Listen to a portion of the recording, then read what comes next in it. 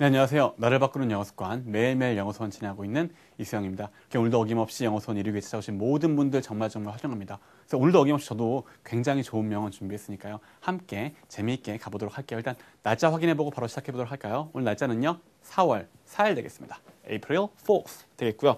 자, 오늘 명언이 굉장히 짧고 심플한데 아, 보면서 참 생각하게 볼 게 많다라는 어떤 기억에 대한 추억에 대한 명언이거든요. 생각해 볼 게 참 많다라고 생각을 한번 해봤는데요. 여러분들도 아마 그런 어떤 뜻깊은 생각해 볼 걸 많이 제공해주는 명언이 되지 않을까 싶습니다. 자, 근데 오늘 읽기 전에 늘 말씀드리는 거 어떻습니까? 그쵸. 우리가 영어 공부, 명언을 읽고 있지만 어쨌든 영어 공부하고 있으니까 영어 원리에 맞게, 어순에 맞게 읽어야 한다는 거 한 번 더 강조해 드릴게요. 영어 어순의 원리.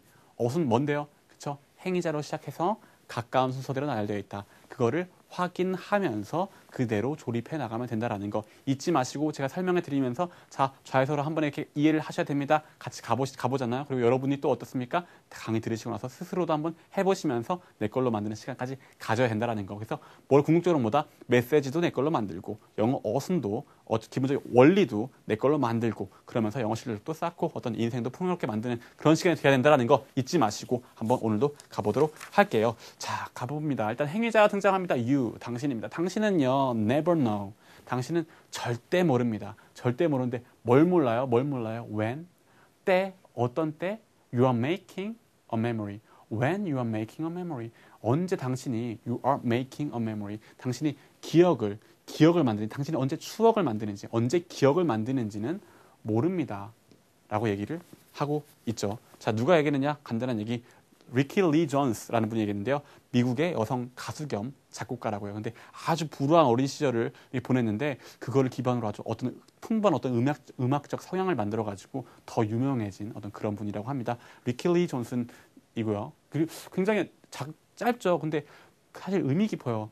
무슨 말입니까? You never know when you are making a memory. 당신이 그 기억을 추억을 만들 때는 사실은 몰라요. 내가 지금 제 기억을 만들고 있구나. 내가 추억을 만들고 있구나라고 전혀 못 느끼죠. 뭡니까? 지나고 보면 아, 참 그때 그랬는데 할 때는 막상 힘들고 어렵지만 뭐 어때요? 지나고 보면 아, 참 그때 그래도 참 재밌었는데 이러면서 미소 짓게 되잖아요.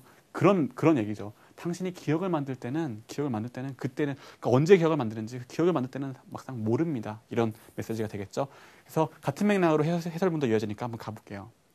A song 노래, the sound, the sound 그 소리 그 소리, 근데 그, 그 소리인데 어떤 소리? Of a person's voice. 어, 그 사람의, 어떤 사람의 목소리. 그러니까 소리 of a person's voice. 그 소리는 소리인데 어떤, 어떤 소리? 어떤 사람의, 어떤 다른 사람의 그 목소리. 그쵸? 그리고 a color, 색깔, a smell, 이런 냄새. 그러면서 이런 것들은, 이런 것들은 any of this. 어떤 것 본질은 this. 이 중 어떤 것들도요, 어떤 것들도요, can trigger. 트리거 하면 뭡니까? 트리거는 원래 방아쇠를 당기다, 당기다, 뭔가 이렇게 점하다. 방아쇠를 딱 당기면 뭐예요? 총이 빵 발사되죠. 이렇게 뭔가 이렇게 점화시키는 거예요. 뭔가 이렇게 불러 일으키는 거, 뭔가 시작시키는 거예요. 이런 이런 어떤 것들, 뭐 음악이라든가 어떤 소리, 색깔 이런 것들은요, can trigger 방아쇠를 당길 수 있어요. 뭔가 점화시킬 수 있어요. 뭘 점화시킬 수 있어요? a memory 기억을 점화시킬 수 있어요. 어떤 추억을 점화시킬 수 있어요. 그렇죠?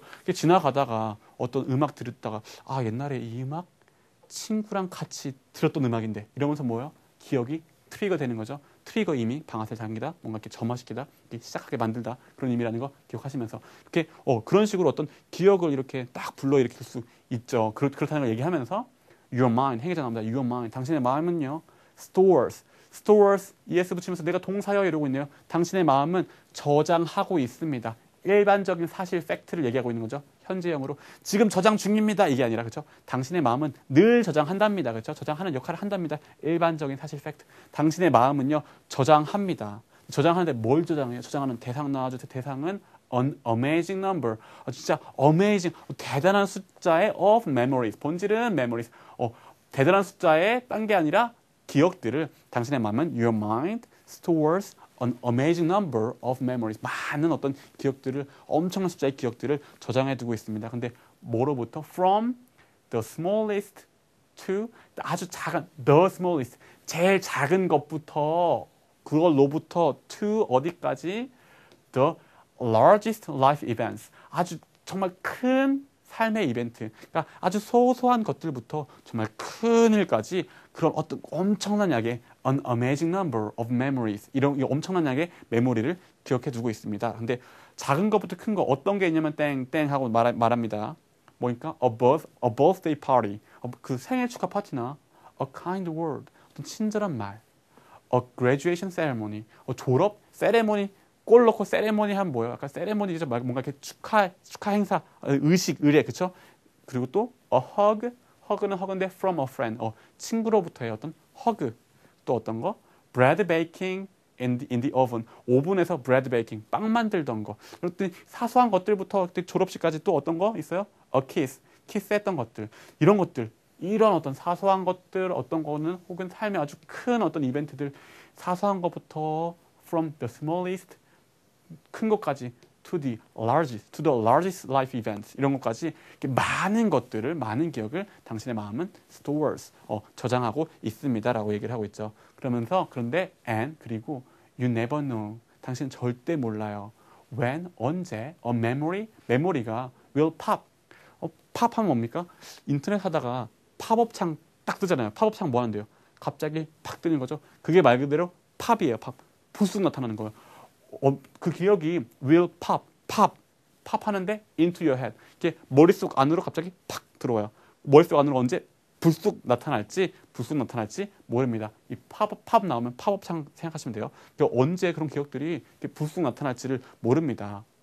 What you do today. 자, what이 물론 맨 앞에 나왔을 때 의문사, 의문사 쓸 때 있지만 여기서는 의문사가 아니에요. 왜냐면 what did you do 뭐 이런 식으로 가야 되는데 what you do today니까 그냥 동, 동사, 그러니까 행위자가 먼저 나오니까 얘는 what 한 다음에 뭐뭐한 것한 다음 덩어리로 봐라 했던 바로 그거예요.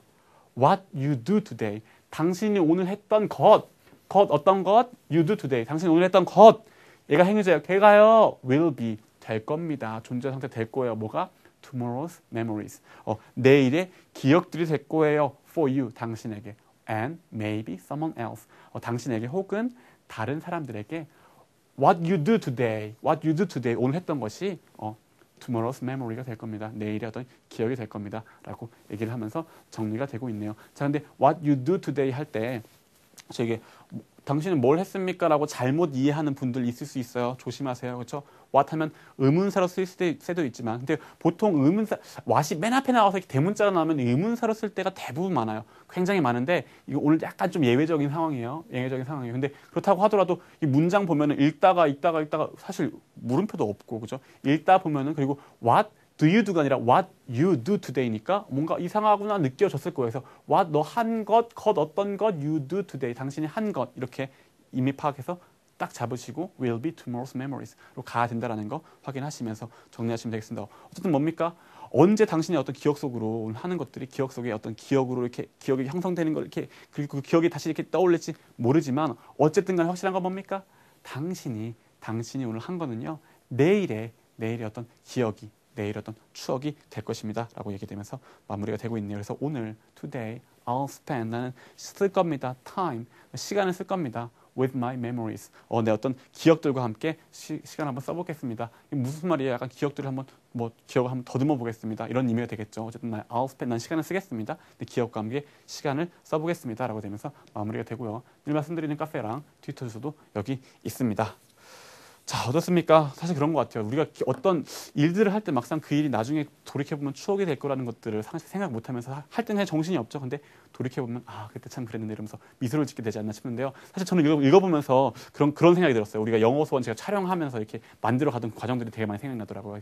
제가 촬영하고 만들 때는 굉장히 사건, 사고도 많고 되게 힘들 때도 많고 했는데 지금 돌이켜보면은 지금 거의 한 1년 정도, 거의 한 1년 다, 가까이 이렇게 영어선 촬영하고 있는데 돌이켜보니까 그때 정말 추억들이, 추억들 피디님과 감독 님들과 식사도 많이 하고 얘기도 많이 했던 게 굉장히 많이 추억으로 남아 있더라고요. 그러면서 여러분들한테 이런 또 이렇게 말씀드리고 싶어요. 여러분들도 사실 지금까지 영어 수업 되게 길게 해오신 분도 굉장히 많아요. 몇 달째 지금 해오신 분도 굉장히 많은데 그런 분들께도 이렇게 해왔던 그 시간들이 시간들이 녹음 잘 되는 날도 있고 안 되는 날도 있고 막 이런 사건 사고도 많았겠지만 어쨌든 간에 그 시간들도 좀 좋은 추억이 영어에 대한 좋은 추억이 되, 되면은 정말 저가 제가 더 기쁘지 않을까 이런 생각을 좀 해봤습니다. 어쨌든 이런 추억을 만들면서 오늘 살아가고 있잖아요. 그러니까 오늘도 어김없이 마음을 녹음 잘 하면서 잘 정리하면서 좋은 추억도 만들어 가보도록 합시다. 고생하셨고요. 내일 다시 만나는 걸로 할게요. 지각도 많이 하셨죠? 네, 제가 지각도 많이 해서 피디님한테 많이 혼나기도 했고 이렇게 많이 치고 들어와서 네, 되게 이러지 말라고 많이 했는데 오늘 또 치고 들어오시네요. 어쨌든 고생하셨고요.